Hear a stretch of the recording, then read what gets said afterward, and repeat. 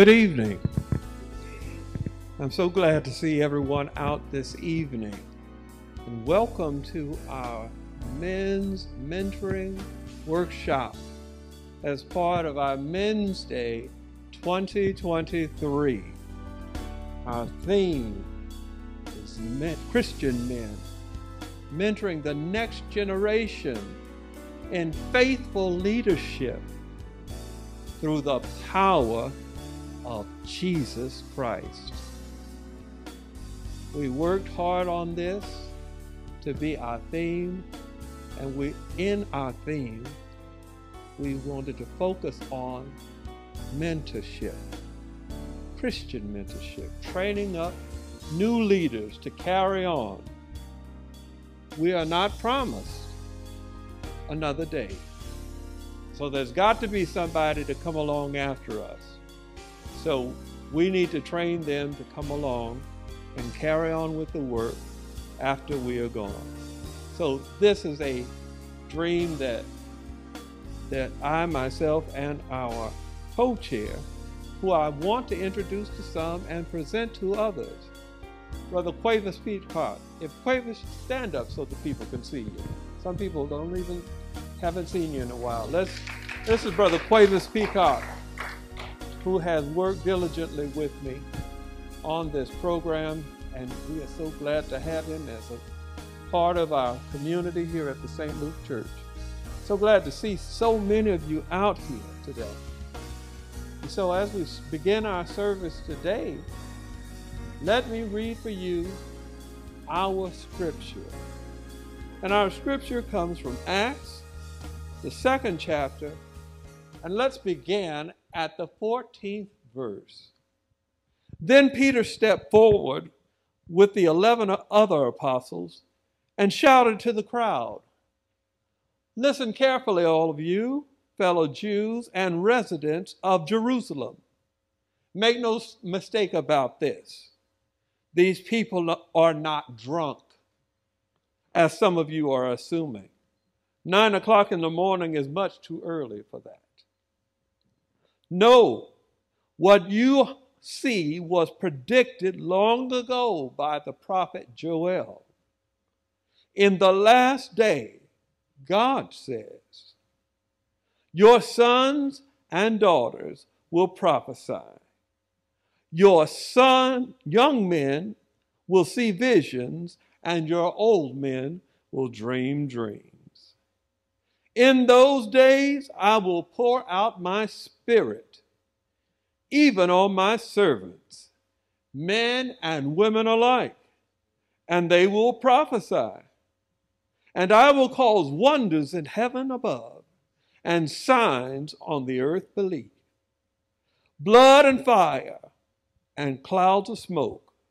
The sun will become dark and the moon will turn red blood, blood red before that great day and glorious day of the Lord ar- arrives. But everyone, amen, everyone who calls on the name of the Lord will be saved. That's the word of God for the people of God. Blessed be our God. Now let us pray. Eternal God, our Father, we are so grateful for you. All the wonders that you've done, all the great things that you've done in our lives, Lord God, for bringing us to this point, gathering us together in community, so that we might be better stewards and better workmen in your kingdom building. Sanctify us, O Father, for we come as empty vessels before a full fountain, cracked, somehow misshapen. But Lord, we're grateful that you can use even cracked vessels to do your work. How you use ordinary people to do extraordinary things. And we thank you for the privilege. God, we ask that you would dwell in this place with us tonight so that what is being said and what is being felt and the information that is imparted comes directly from you so that we might be enlarged. Our territory might be enlarged, and so that we might have more authority on this earth that you have given us. And so that the kingdom of God may be spread through us, so that this church, this community, can have an impact on the community that we live in. So that this church can make an impact on this community that it is in.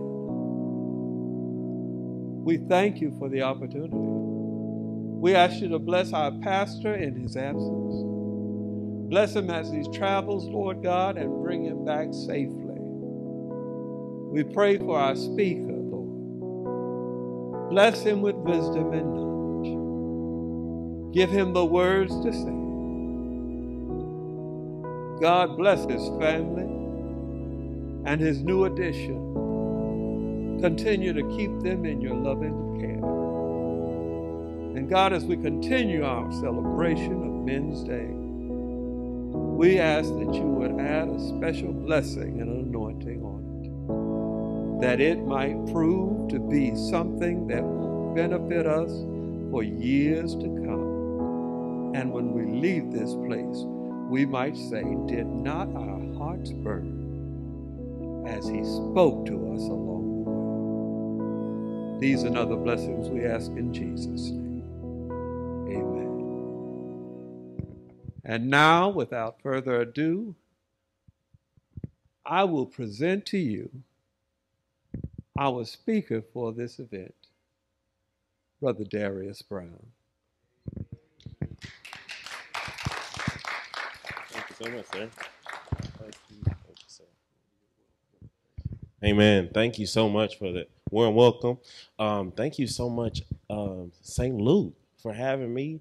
Um, when I got the call, I was super excited um, about being here. Um, right here in East Waco, Texas. I live in East Waco, so I'm all about um, being here just to share and just to commune with you guys. And so I'm a good friend with um, your pastor and Quavis, and so I see some familiar faces. Um, I'm not going to be too long, but um, I do believe God is going to give us a word tonight. And like you said, um, even even me giving me a word, um, so that that I can continue and I can go forward. Amen. Let us pray. Look, dear Father, we thank you so much for who you are. We thank you for this moment, God. And we ask again that you would just come and be in this place. God, I thank you that you are holy and you are upright and there's nothing wrong about you god. I thank you that you are with us god in this in this time. So god as we open your word god would you just hide it in our hearts so we won't sin against you god? We want to make an impact in this community. There are men in this community that are in need of mentorship and discipleship. So god we ask you just to send us a word that will be refreshing to us. And god i thank you that you only not send us the word, but God give us the resources and the provision, God, that we need. God, send people um, and it's their hearts, God, to do your work. In Jesus' name we pray. A- pray. Amen. Amen. Amen. Um, just a little bit about me before I get started. I grew up here in Waco, Texas. Um, and my whole life, I went to Waco ISD my whole life, and um, my family moved here just right outside of Hillsboro, and um, I grew up in a single parent home, and as I um, we went to South Waco Elementary, kind of bounced around at a couple of elementary schools, um, low income home where my father was around. Uh, he was I knew who my dad was, but he was um, he lived out of town, and so um, I remember my mom struggling a lot, paying bills, struggling um, to make ends meet, working multiple jobs uh, to um, make ends meet. And growing up in Waco, I had a loving home, but also experienced a lot of trauma, not because of my own parents, but a lot of times I would get left at people's house and spend a lot, experience a lot of trauma and um, just a lot of generational curses in my family. Y'all stick with me. Just a lot of ge- generational curses in my own family um, a lot of the men in my family were not good examples, is what I'm trying to say. A lot of the men in my family were either going to jail or they were getting out of jail. A lot of the men in my family, can I be transparent tonight? It's only a couple. It's, it's, it's we family now, but a lot of the men in my family were making bad choices. My the women were okay, but the men in my family, there was a generational curse, and I didn't know it at the time. But a lot of the men in my family um, were up to no good and they were not good role models. And so growing up, I was in need of a mentor. I was in need of discipleship. And so um, I remember that I didn't meet really good men until I went to church. It was not until I went to church that I had good examples of what a man was. And so um, I, I remember that um, it was the church that taught me the word. It was the church that really um, put before me good role men role models.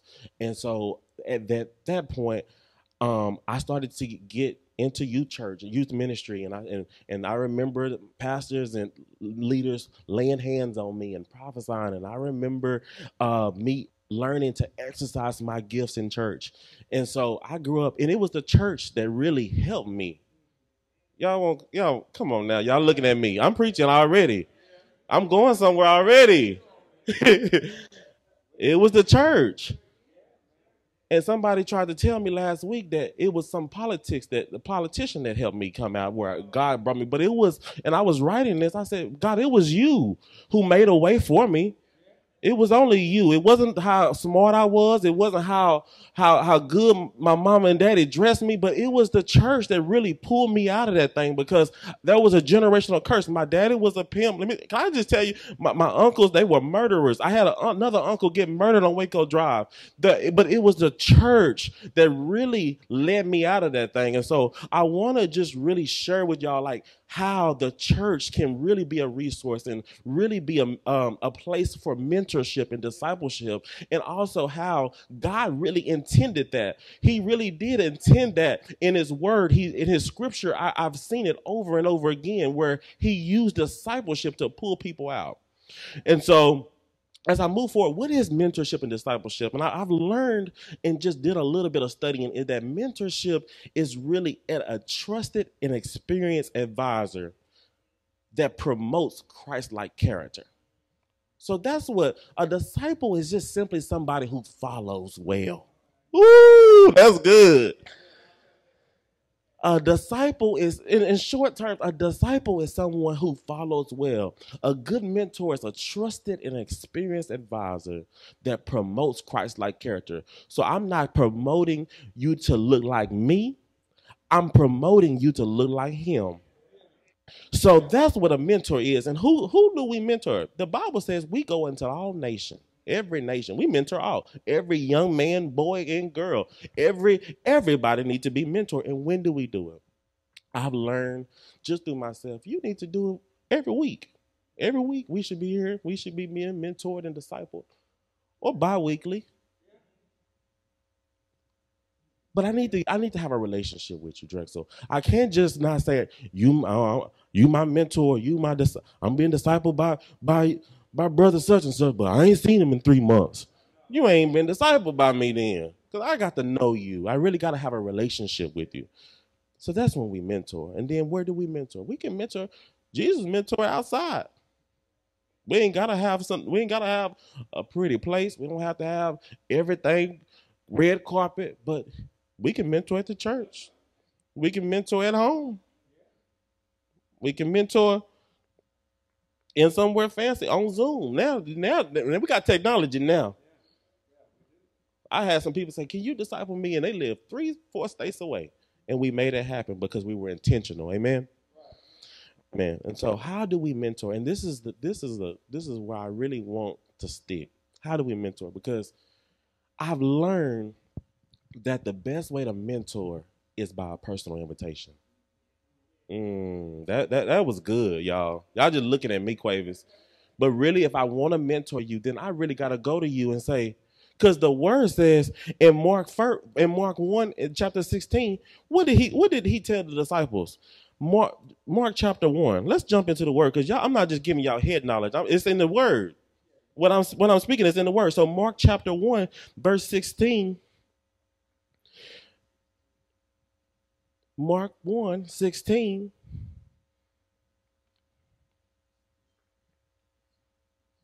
And I'm going to read it just for the sake of time. It says, Passing along the Sea of Galilee, he saw Simon and Andrew, the brother of Simon, casting a net into the sea, for they were fishermen. They were fishermen. And Jesus said to them, Follow me, and I will make you fishers of men. A personal invitation. And then he says, and immediately they dropped their nets and followed him. He gave him a personal invitation. I remember the best experience I had into mentorship is I had a group of pastor, a pastor come to me, and he didn't go to my church. He said, I don't want you to go to my church. I don't care where you go to church. I want you to be a part of my, I want to disciple you.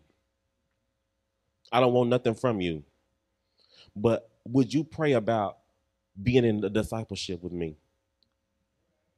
For six months. I promise it, God gonna change your life if you would just pray. And I was just like, well, God, He ain't gonna say no.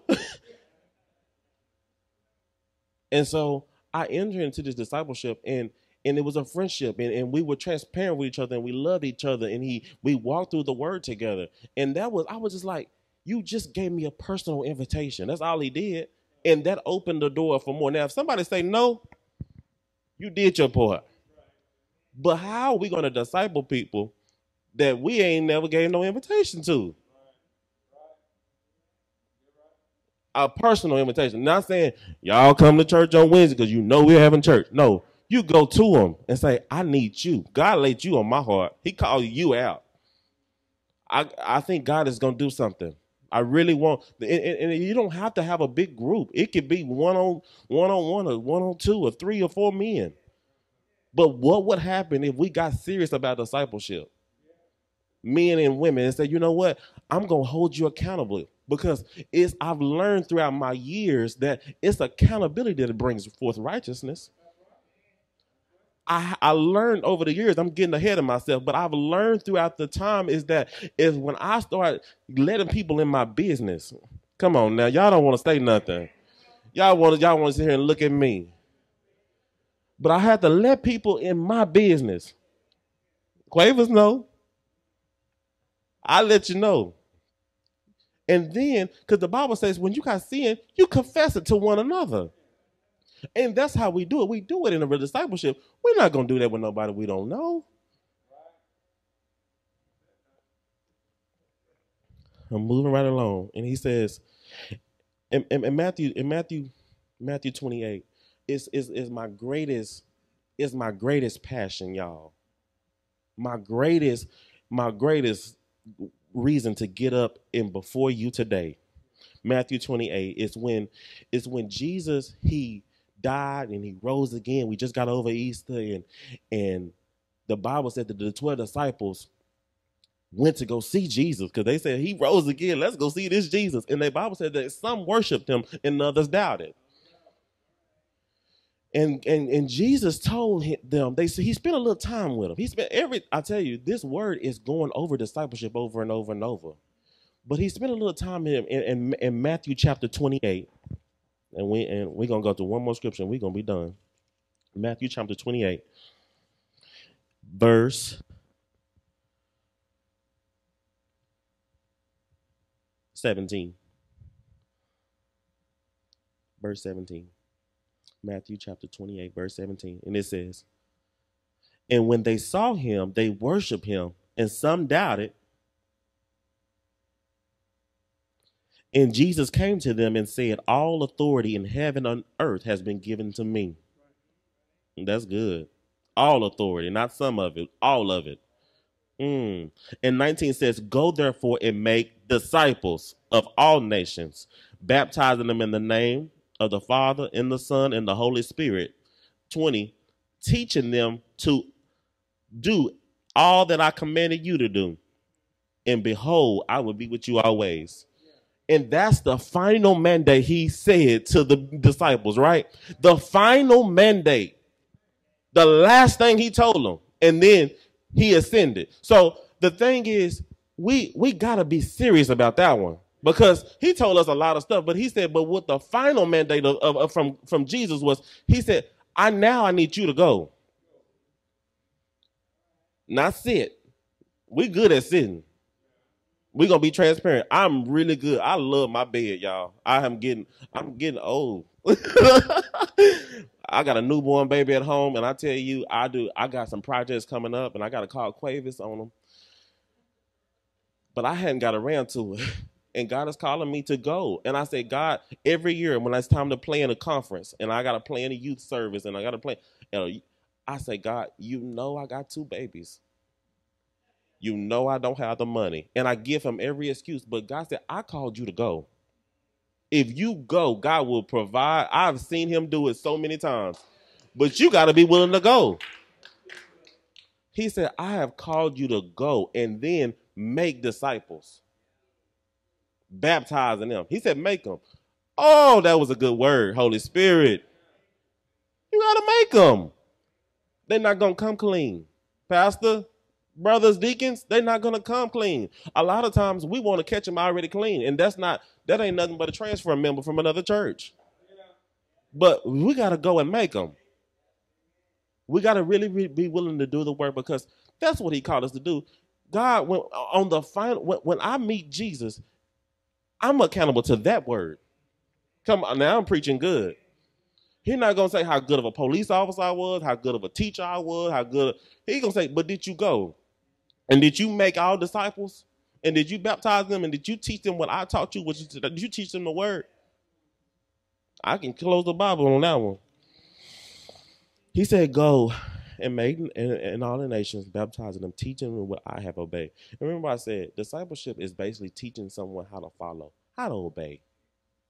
I would get down to people, get down to do ministry, and and, and one of the pastors say, "We just want to help you obey.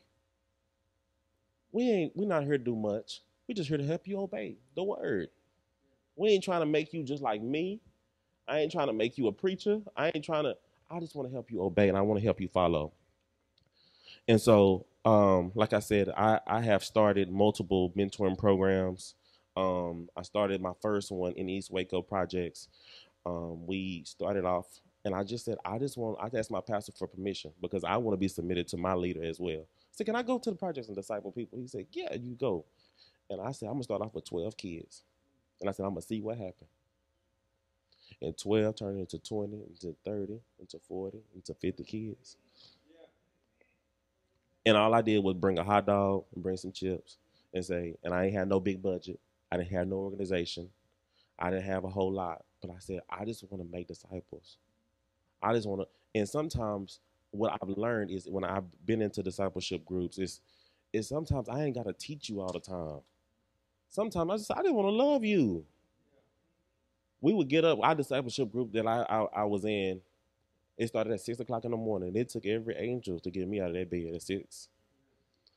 And they would, and I would get there and pastor say, I just want to tell y'all I love y'all this morning. And I say, I know this joker.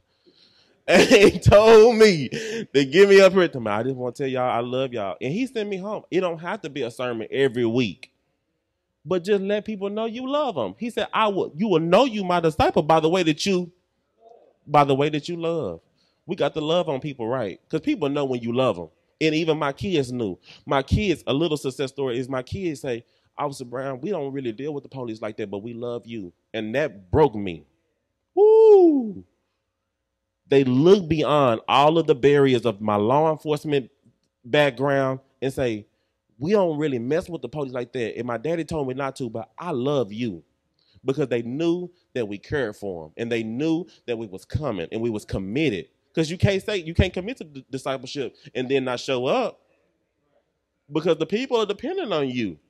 And so you have to set the standard. And so um, moving right along, I started my my most recent one. That one started before COVID. When COVID started, it wiped out my mentoring program, unfortunately, completely out because of YMCA. So our, our group got so big, we left the projects and went to the YMCA.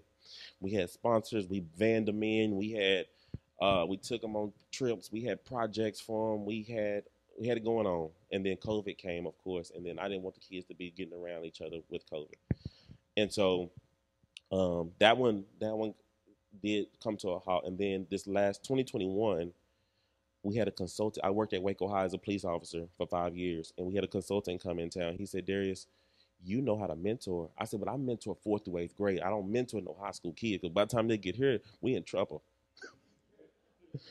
You know, you got to start small because you. I said these these people right here, they make me want to. You know, I I be want to put them hands on on one of y'all. Okay, mentor y'all. And and I made up every excuse. And my flesh, like I said, is no good thing. I make up every excuse. I got 101 excuses right now. But but I I I he told me he said Darius, you know how to mentor. You need to mentor at the high school. And I said, okay, if you told me to do it, God, if this is your will, let make it happen. So we started a program. I started a program from scratch. I started writing stuff up and writing. And I said, God, we're gonna do it. And we we did it for gang intervention. And so we stopped a lot of gangs from happening. We would interview each gang member.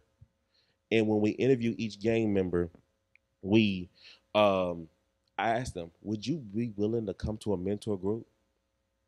And I, I, I was the police officer and I was over gang intervention. I knew everybody who was in the fights. I knew how many problems they had. I knew every kid. And I went to them and pulled them out of class and I said, I'm going to interview you for a mentor program.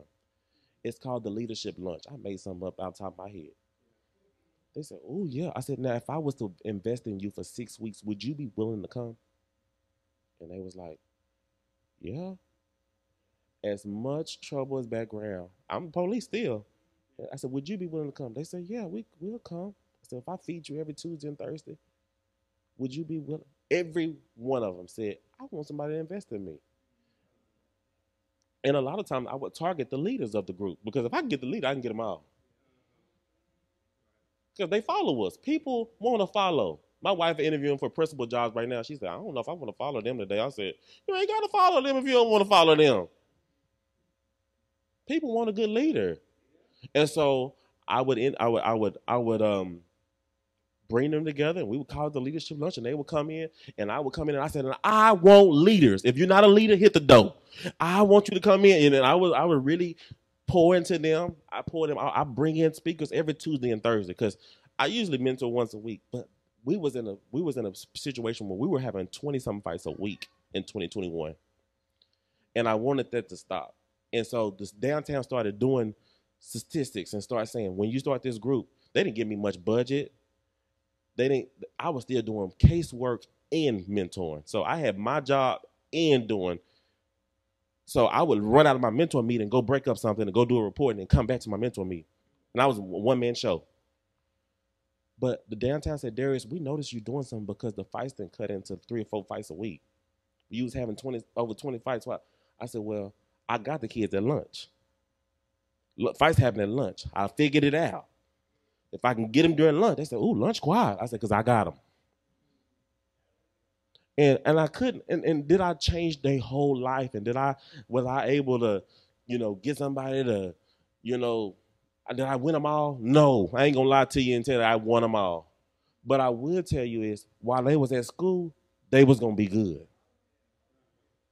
You know, and so a little bit of effort went a long way. And so um, I want to I want to uh, I'll close by saying, you know, we we have to realize that that this is the word of God and we got to we got to trust the process of discipleship cuz discipleship ain't pretty. You don't get a lot. I ain't up here preaching cuz God said I can preach the house down. I really can. Y'all need to tell me, can, can y'all ask Pastor, can I come on a Sunday? I really can preach. But God said, but God said, I called you for the small group. I want you to, I want you to pour into the two and the three. Because he said, when two or three gather, I'm I'm in the midst. I want you to specialize in a small group. And he he's poured that. He said, Don't you ever think that uh, uh get excited about a crowd because I've anointed you for a small group. And so um Acts chapter 16, I love the like I said, I love the I love the um the model of discipleship over and over in scripture. And the last one we're going to look at is when Paul really finds Timothy and he starts to mentor him and starts to disciple him. And that discipleship relationship is a really one one very unique and one of my favorites. And when Paul, um, Acts chapter uh, 16, verse 3. It's, it's really unique.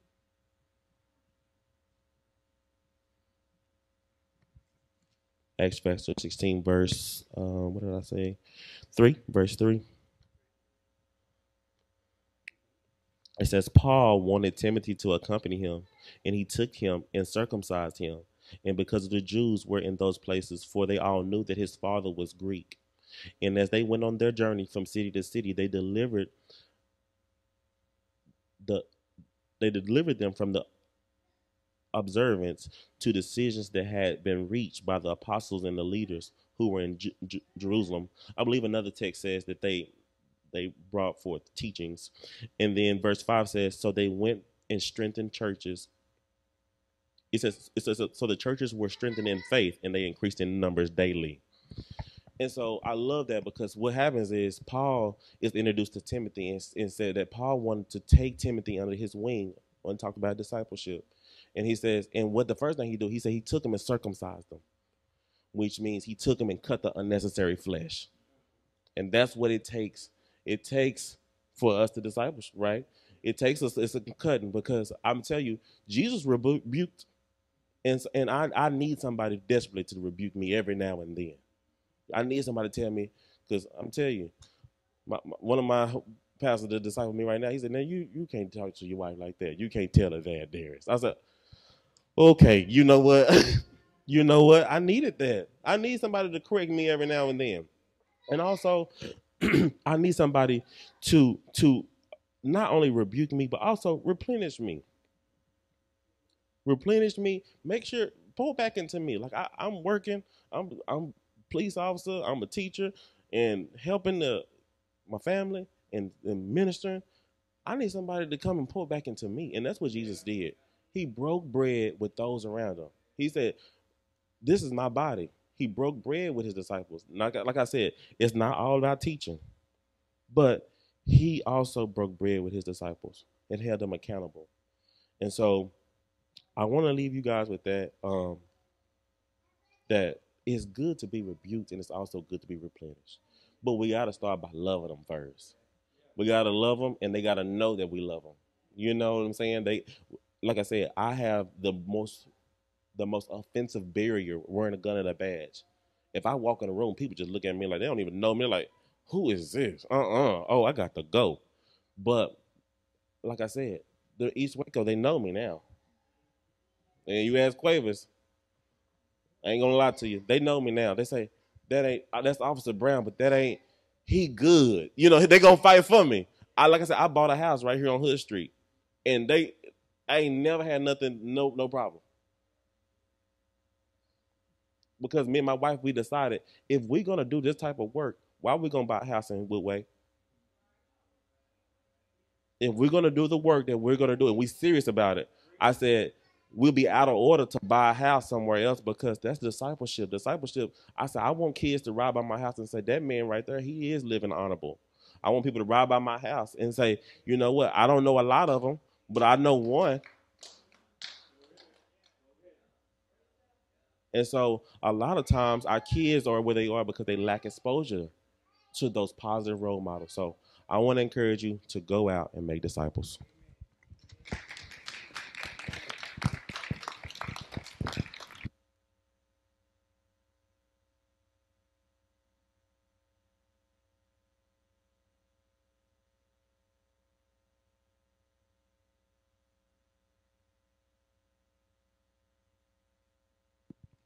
Brother Darius, uh, if you could come back up, does anyone have any any uh, questions for Brother Darius? What he gave us was rich, well, and I, I just, boy, I'm ready to talk. I want to ask some questions because he he opened some doors, and I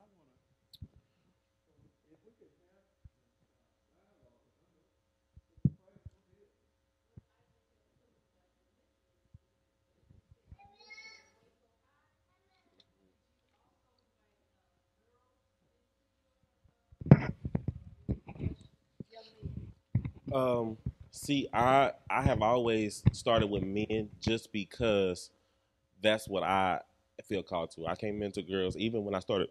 Excuse me, my my program in East Waco was called Becoming Better Boys, and so they said, "Girls, you ain't got nothing girls." And my wife started girls, so usually I'll I'll start the guys and let somebody else pick up girls because I know what I'm called to. I can't mentor a girl. I can't tell you how to be a woman, you know. And so there were programs at the school far as girls, but then I took over boys, and then I started. I duplicated the same program at University High, and they had girls and boys.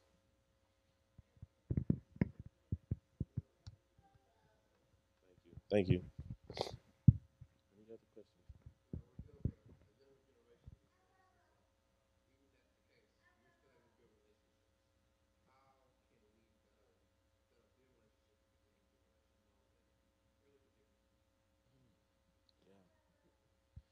I do. Um, I'm also a full time teacher, so I'm full time police and teacher, and I, I do run into that. Um, don't ask how I do both of them jobs, and I because I can't tell you. but um, I do think, like I said, loving them. I listen to my kids. We so I teach criminal justice at the high school, and w- today we went over like we'll go over something that happens on the internet, and we'll say, "What do you feel about that?" And I listen to them and I and I in my mind I want to correct them. I want to rebuke them real right, real good. but I let them talk, and I let them. I really just be patient with them. The Bible say love is patient, and so if we gonna love on people, we just got to be real patient. Uh, I think our generation and most of the kids. Like we we watch the when the substitute falls the teach uh, the student and we say, what do you feel about that? The teacher wrong. The teacher should have never put his hands on, on a student. I said, okay, you know, I'm trying to listen, but also I say, but hear my perspective too. And so a lot of times they will listen, but they just want to be heard. And so I let them hear me. I mean, I, I, let I let them know that I care, let them know that I'm listening, and then I also give them some feedback. And they're like, okay, I'm gonna let that sit on me because you're right, Officer Brown. We shouldn't really be cussing in class. I said because it's not hurting me, but you're showing me what kind of household you live in. You're showing me how much you don't respect others and yourself. You don't you don't hurt me by cussing. I've been called. I've been. I'm a police officer for ten years. I've been called everything under the bus, un, uh, everything under the sun. So, but I said, but you you showing me that you don't respect people, and that's and I said, and I'm a I teach career and technology program, so I'm helping you get in a job. So if you cussing in my class, that means that when you go to work, you're gonna be doing that, and I don't want you to get fired. And so then then I ain't had no more cuss words out of, out of a lot of them because I say and I, I can't tell them. I'm a minister, so I, am a licensed minister, so you can't you can't cuss in my class. No, that ain't. But really, having them something, telling them the why. I heard that this is Generation X and then Generation Y. Tell them this is why, and just taking the time and explaining it, and then they'll say, okay. I hope that helps.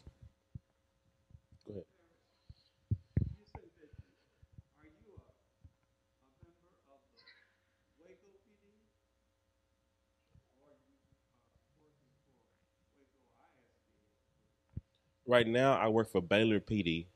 Um, I work for Baylor Police Department, and then I, I teach some classes at Waco High too. I I was at Waco ISD, so I was at Waco ISD for five years, and then the last year I just switched to Baylor. Um, I work for Baylor PD. Right now, thank God I'm on I'm on I'm on baby leave, so ooh, I ain't got to see them for a little bit. Any other questions? Good question.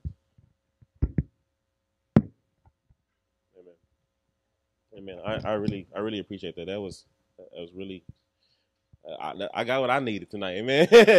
uh, that that was I really I really appreciate that. I think, like I said, I got a couple kids who would just say, you know, I just got out of juvenile. I came a part of, and I was a part of your group. They wrote me a letter and say I used to get in trouble so much, but because of this group, I want to stay. And and the moment I, I like I said I left, and they said, Derek, when we gonna do the groups again? When we gonna now? You know, when we gonna do the groups again? When we and, and so they, they, there's a big hunger for it. even parents. I get calls every day. When can you do the groups again? And and it's coming back. Amen. Like they're, the, the groups are coming back. We're gonna. I'm I'm believing before the end of the year we're gonna have a have a place and we're gonna have a location. We're gonna we're gonna disciple kids, and um, I'm excited about it. That's good. Thank you for that. Any other questions? Any other, any other comments, questions? Well, I really enjoyed. If there's nothing else, um, I really enjoyed this time. Like I said, anytime I can come back, let me know. Um, I live less than five minutes away, and so um, I'm excited to to do the work and just keep me in your prayers as I continue to do what God's called me to do.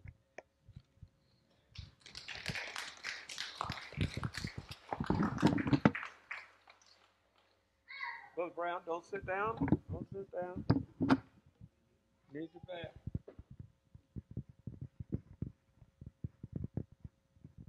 This won't be your last time coming. We have enjoyed this. Haven't you enjoyed Brother Brown? Let's give him a round of applause. This has been a wonderful session. So glad you were able to come and be with us.